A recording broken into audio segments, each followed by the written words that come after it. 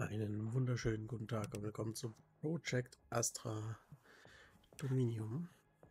Ähm, ich fand es ein spannendes Spiel bei Ehrliches Gaming. Ich habe mir die Demo runtergeladen. Wir werden das Ganze zusammen entdecken. Es ist ein Tower Defense Spiel mit Factorio Elementen. Äh, wir spielen zusammen hier ein neues Spiel. Also mal. Okay. Es ist im ersten Moment gnadenlos überfordernd. Deswegen spielen wir das Tutorial. Ähm, grob gesagt ist, hier seht ihr eine Fläche. Wir können hier später einen Maschinenpark bauen, der uns Upgrades und so weiter erstellt. Eben für ähm, unsere Türme, die wir benutzen können in dem Tower Defense Aspekt des Spiels. Sammle Ressourcen auf dem Planeten Trebus 5. Hier oben gehen wir rein, wir sehen hier die Karte, bekommen 1000 XP, wir bekommen Stein, Kupfer, Iron, äh, also Eisen, Kohle. So es ist noch nicht 100% übersetzt. Und wir sehen hier auf der rechten Seite, mit welcher Wahrscheinlichkeit welche Ressourcen droppen. Gerne nochmal Feedback zum Sound, ob es zu leise oder zu laut ist. Und ja, ich würde sagen, ist das hier eine... Ja, wir gehen mal rein. Genau, hier gibt es diesen Turmverteidigungsmodus. Das Ganze skippe ich jetzt mal und wir sehen hier schon, hier spawnen die Gegner, laufen dann, nee, umgekehrt. Die Gegner spawnen hier und hier aus den Höhlen, laufen hier lang und versuchen unseren Standort hier zu erreichen. Wir haben 20 Leben, haben 300 Gold, haben aktuell nur den Schießtower. Rest ist noch gesperrt am Anfang. Den schalten wir frei und sagen, okay, wir starten. Können das Ganze beschleunigen. Ich lasse einfach mal auf 8-fach Speed. Die kommen hier angerannt. Äh, ich baue noch einen zweiten Turm und upgrade den. Genau, habe schon fünf Leben verloren. So, und die droppen jetzt Materialien. Und zwar eben alles, was wir vorher gesehen haben. Mhm. Und diese Materialien brauchen wir, um dann unsere Türme zu verbessern. Also es ist schon sehr interessant aufgebaut, das Ganze. Dass man ähm, zwei Aspekte des Spiels hat. Aufbausimulation mit Tower Defense. Da gibt es wahrscheinlich auch zig Strategien, ob man erst auf Low-Türme geht oder auf einen geht und den aufbaut. Äh, Information. Das ist hier nicht ein Autoplay-Bonus. Genau. So, wir haben es im Prinzip die Runde gewonnen. Aber jetzt gibt es einen Endlos-Modus. Und der Endlos-Modus ist dann im Prinzip da, um an Ressourcen zu kommen. Um eben die Standardressourcen zu fahren. Jetzt würde stehen hier upgraden für 150. Wenn wir das Geld dann zusammenbekommen.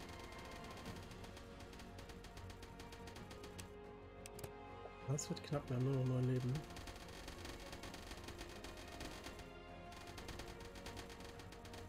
Natürlich sein, dass wir nicht so viel weiterkommen, aber wir haben schon ein paar Ressourcen gesammelt. Dann beginnt der zweite Teil des Spiels.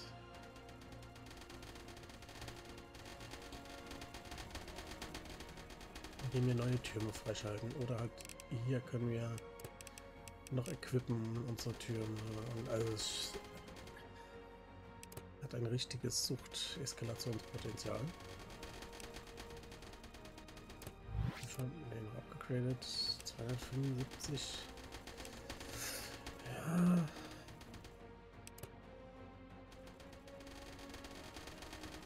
Ich weiß nicht, ob wir die 275 zusammenkriegen. Jetzt Test, aber irgendwie muss es auch gehen. Dass wir sagen, es spawnt die Welle automatisch.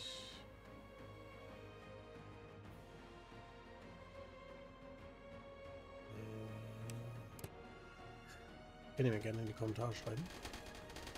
Ich denke, ich nehme schwer an, dass es hier geht. Okay. Und wir haben den Railgun. Tower freigeschaltet. Aus den Wohlkönnen. Dann noch Munition. Neue Waffen. Also man schaltet am Anfang sehr, sehr, sehr viel Shit frei.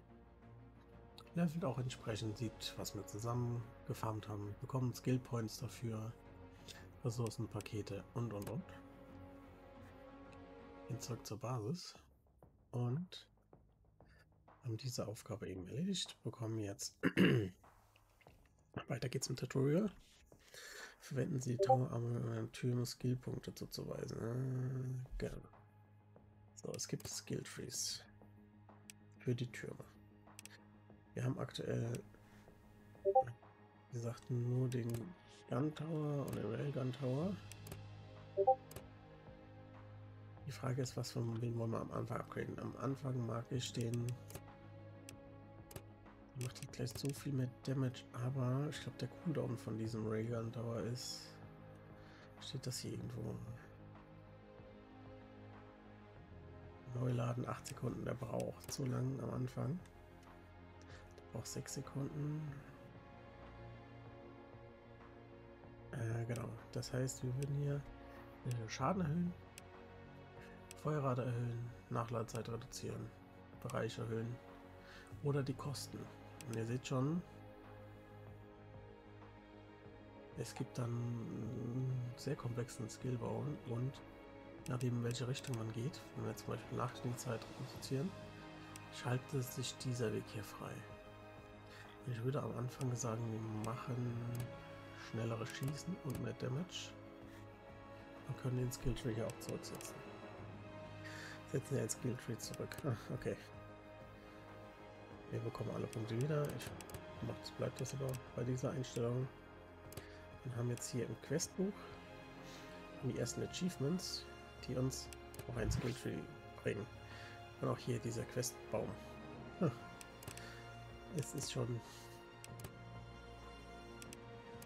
sehr umfangreich, was das alles angeht. Und jetzt kommen wir zum Factorio-Part, sage ich mal. Und zwar wir uns solche ja, Sch Schmelzsysteme zum Beispiel aufbauen. Hier bekommen wir es auch erklärt, Schritt für Schritt, was wir machen müssen. Also zum einen, ähm, genau, sehen wir jetzt hier dieses Raster. Hier unten im Baumenü sehen wir alles, was wir fürs Transport haben. Wir haben hier schon Belt, wir haben Crabber, die die Ressourcen aufheben. Wir haben noch keinen Split, noch gar nichts hier freigeschaltet. Wir haben unsere Drohnen, die können Ressourcen empfangen oder eben verschicken ans Hauptgebäude. Es gibt ein Lagersystem dazwischen. Es gibt die Schmelze oder ein Assembler. Das ist im Prinzip, die können Bauteile zusammenführen. Also Schmelze schmilzt Eisen und äh, führt das zusammen, also Assembler mit Kohle und daraus wird dann Stahl. So ist das aufgebaut. So, und, und ähm, genau, ich gehe hier nochmal raus. Wir können auch alles im Inventar basteln. Also wenn wir uns eine Frachtkiste basteln wollten, haben wir jetzt Eisenbarren. Die können wir hier im Inventar uns selbst erstellen. Das Problem an der ganzen Geschichte ist im Inventar, das ist hier Echtzeit, dauert das ultra lange. Deswegen versucht man sich halt mit Maschinen auszuhelfen. Ähm, genau. Deswegen gehen wir hin, bauen uns jetzt einen Requester, wie es hier steht. Bauen Sie einen Drohnen-Requester. Das müsste der Empfänger sein. Und wir sehen hier schon, er hat so Arme. Und an diese Arme kann er eben die Ressourcen nach links, rechts, vorne rausschicken. Wir können mit der mittleren Maustaste das Ganze drehen. Ich würde hier einmal ja. Den kann man ja auch für mehrere Sachen benutzen. Hier ein Requester-Händler. Weisen Sie eine Requester-Drohne mit Eisenerz zu. Genau. Also hier ist aktuell Stein hinterlegt. Wir können hier sagen, du sollst Eisenerz liefern. Und zwar kann mir auch die Menge sagen. Ähm, wir haben aktuell zwölf Drohnen. Ich sage jetzt mal zwei Drohnen oder drei Drohnen. Ja, sagen wir mal zwei Drohnen soll sich darum kümmern, hier dauerhaft Eisen herzubringen. Dann können wir eine Schmelze bauen. Und wir sehen hier auch schon wieder die Crab-Arme. Hier kommt die Schmelze hin und sagen, du sollst bitte Eisenbarren schmelzen. Ja? Eisenbarren. Und jetzt fehlt uns eben noch der Verbindungsweg zwischen dem Requester und der Schmelze und dafür sind diese Crapper zuständig. Und dann sieht man auch in Pfeilrichtung, er holt jetzt aus dem Lager und baut sie in den Schmelzer. Die Frage ist gerade, ob ich das hier beschleunigen kann. Sieht mir aktuell nicht so aus. Und jetzt seht ihr, nimmt er das Eisenerz in die Schmelze. Und die Schmelze macht daraus Eisenbarren. So, und dann muss es wieder zurück zum Lager. Das heißt, wir nehmen hier einen Grabber, der das zum Absender überschickt. Ah, jetzt habe ich mich ein bisschen verhauen. Ich kann das Ganze nochmal abreißen. Ich möchte den Absender auf derselben Höhe haben. Hier. Ja, mit dem Raster ist noch ein bisschen fuddelig. Jetzt gibt er das hier rein. Rüber. Und das Ganze wird gebaut. Und hier kann man dann sagen, okay, du sollst eben das Eisenerz mit zwei Drohnen zurückschicken. Und schon haben wir Eisenerz automatisiert. Und diese Ketten sind halt ja so krass, was man hier alles bauen kann. So, Aeroprotokoll. Turmausrüstung. Genau, man muss auch die Turm upgraden. Das macht man. Okay, das will, dass der möchte, dass ich das jetzt im Inventar mache. Und hier können wir jetzt. Wir haben hier doch noch gar nichts. Was soll ich denn ausrüsten? Okay, wir müssen das herstellen. Er möchte jetzt Kupfer, produzieren. Manuell oder automatisch. Ich würde das jetzt im Inventar machen. Kupferbarung. Mal drei Stück. Das muss man natürlich dann auch automatisieren. Ich will euch erstmal nur zeigen, was es in dem Spiel geht. Und ob ihr Interesse daran habt. Munitionsstufe 1. App Tier einmal 1. Da haben wir alles da. Das heißt, ihr könnt es einmal herstellen.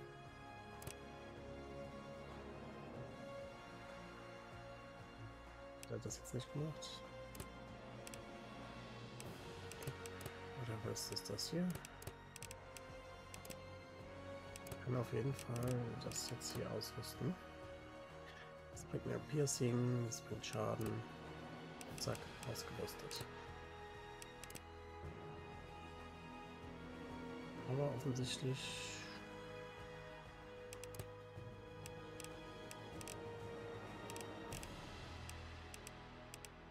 nicht das, was er von mir möchte.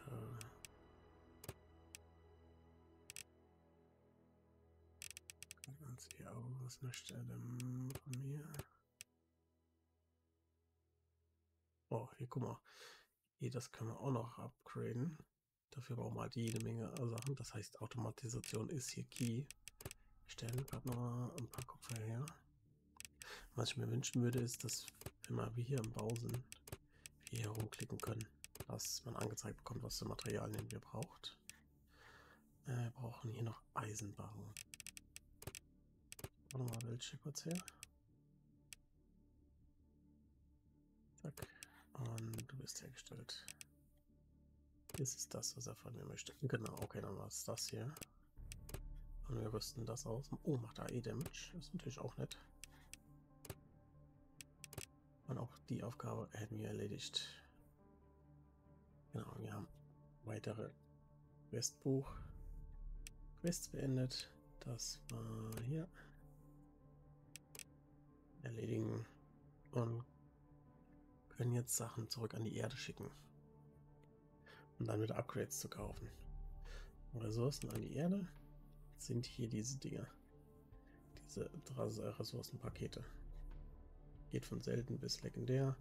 Dafür bekommen wir halt hier oben die Chips. Wir haben aktuell vier, kommen für vier Stück ein Chip.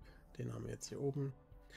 Können uns damit Fabrik-Upgrades kaufen, Kampf-Upgrades kaufen. Also das Skilltree ist ja Wahnsinn. Ähm, das hier würde ich gerne ganz am Anfang freischalten.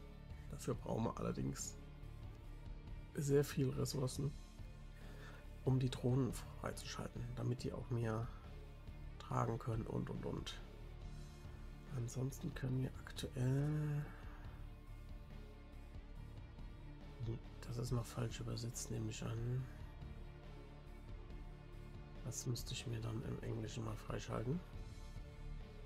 Um zu gucken, was genau sich hier verbirgt. Ah, hier, wie gesagt, es gibt Kampfverbesserung, es gibt Fabrikverbesserung. Ein bisschen muss man tingeln, tangeln. Was sich natürlich am Anfang lohnt, ist, das zu automatisieren, dieses Ressourcenpaket. Und ich würde sagen, das machen wir jetzt gemeinsam in der nächsten Folge. Bis dahin.